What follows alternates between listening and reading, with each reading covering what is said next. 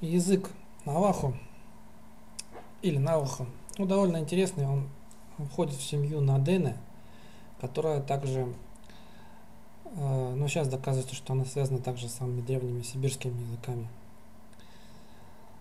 Он крайне сложный и отличается по своей логике от индоевропейских, поэтому его использовали прямо для шифрования в Америке, потому что то, что там написано, никто практически не может расшифровать, кроме индейцев, а индейцев все в США.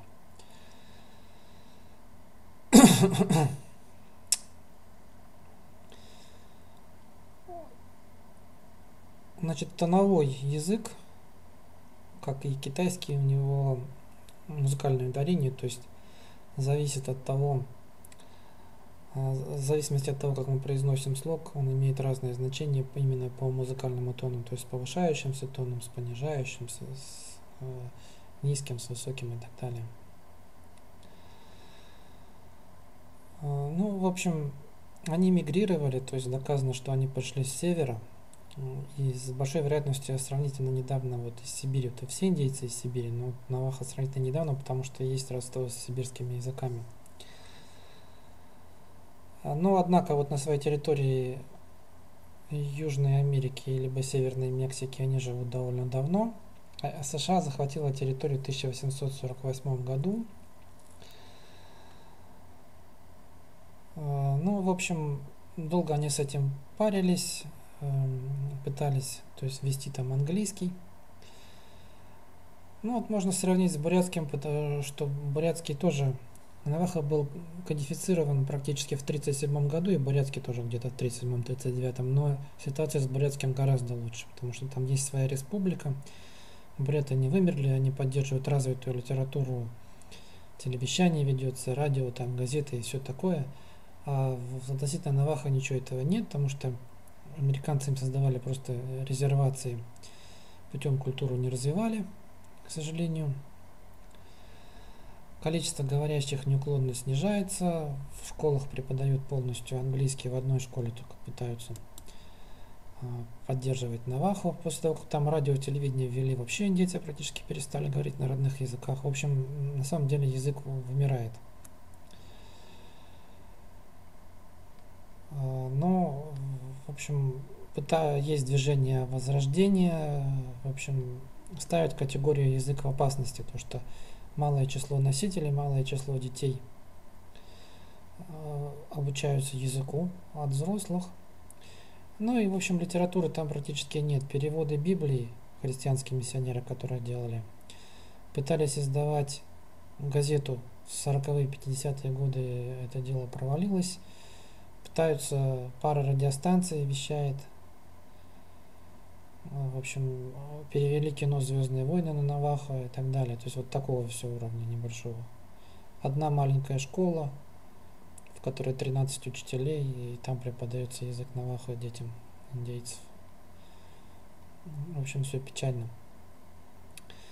Четыре гласных звука, перехожу к характеристике языка. Четыре гласных звука, но большое значение имеет тон.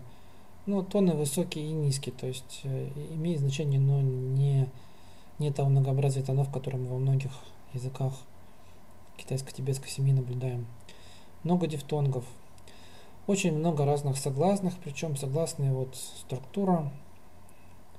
Даже, не знаю, наверное, нет смысла характеризовать. Много согласных совсем других типов, которых э, в наших языках нет. То есть таких звуков, которые надо обучаться их произношению.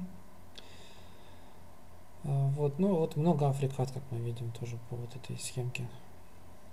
Много гортанных звуков, губных и прочее. Письмо. Ну, долго не могли им разработать. Конечно, он на латинице, раз они в латинской среде.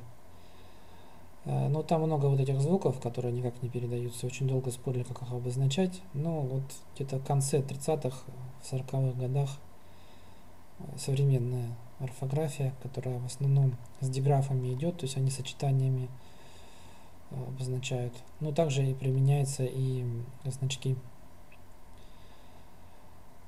Э, морфология.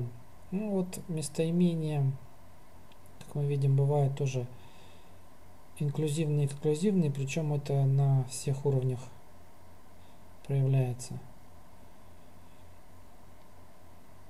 Есть двойственное число. Ну вот, в общем-то, в общем-то и все.